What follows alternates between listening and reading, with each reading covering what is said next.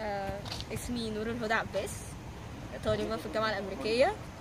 تجربتي مع ال مع ال program إن هو بصراحة يعني حل الموضوع في ثواني.